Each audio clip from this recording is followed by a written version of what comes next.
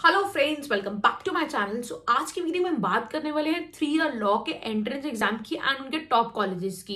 मैंने already law पे इतनी सारी वीडियोस करी है बट मेरी ये वीडियो पेंडिंग थी और इसके ऊपर बहुत सारी लोगों की क्वेरीज आ रही थी कि हम स्पेसिफिकली थ्री ईयर लॉ ही देख रहे हैं। उसके कौन कौन से इंपॉर्टेंट कॉलेजेस हैं कौन कौन से एंट्रेंस एग्ज़ाम्स हैं हमें किस पे फोकस करना चाहिए। तो आज की वीडियो में पहले हम कुछ एंट्रेंस एग्ज़ाम देखेंगे, उसके बाद मैं कॉलेजेस के साथ उनके एंट्रेंस एग्ज़ाम को बताऊँगी कि किस कॉलेज का कौन सा एंट्रेंस एग्ज़ाम होता है। तो कुछ इंपॉर्टेंट एंट्रेंस एग्ज़ाम देते हैं देखो ये इसमें I am not telling you ना गुड ऑर्डर कि ये ये ये this is the exact order ये सब इंपॉर्टेंट है। आपको देखना है कि आप किस लोकेशन में फोकस कर रहे हो, किस एरिया में रहते हो, उसके अकॉर्डिंग आपको देखना है। क्योंकि कई कॉलेजेस के अपने एंट्रेंस एग्ज़ाम होते हैं, कई कॉमन एंट्रेंस एग्ज़ाम को पिक करते हैं।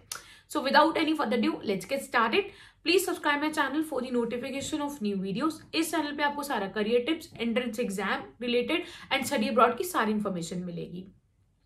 सो so, सबसे पहले नंबर पे आता है this is not in order सबसे पहले आता है हमारे पास यूनिवर्सिटी ऑफ़ डेली का एल एल पी ये बहुत इंपॉर्टेंट एग्ज़ाम है। आपको इसको ज़रूर देना चाहिए। इसके अंदर तीन चार कॉलेजेस आते हैं, वो हम आगे देखेंगे।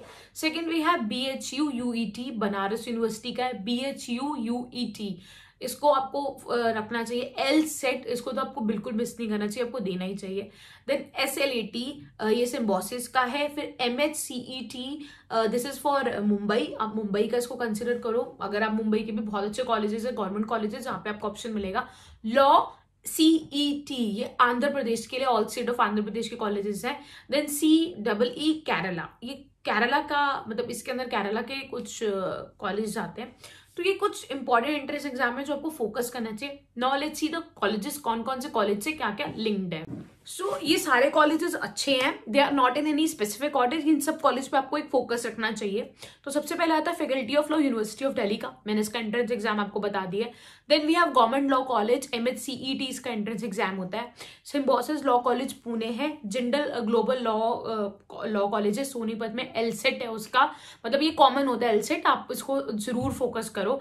देन फिर मुंजाल यूनिवर्सिटी है गुड़गांव में आप उसको फोकस कर सकते हो. देन महर्षि दयानंद कॉलेज जयपुर का अच्छा है. Then we have Rajiv Gandhi school of intellectual property IIT Kharagpur अब इस पे ज़रूर फोकस करना। Then we have school of excellence in law Chennai Rizvi college Mumbai है, ये भी बहुत अच्छा है। JSS law college Mysore DY Patil Pune and I C F A I Dehradun ये कुछ इंपॉर्टेंट कॉलेजेस हैं जो आपको फोकस करना चाहिए। अगर आप थ्री ईयर क्लॉक करो और भी बहुत सारे कॉलेजेस हैं। तो मैं एक स्पेसिफिक न्यू वीडियो में सिर्फ़ कॉलेजेस ही फोकस करने वाली हूँ कि और कौन कौन से कॉलेजेस हैं। So don't forget to uh, subscribe my channel and don't forget to like uh, this video if you liked it or uh, please do me a comment uh, if you're any queries.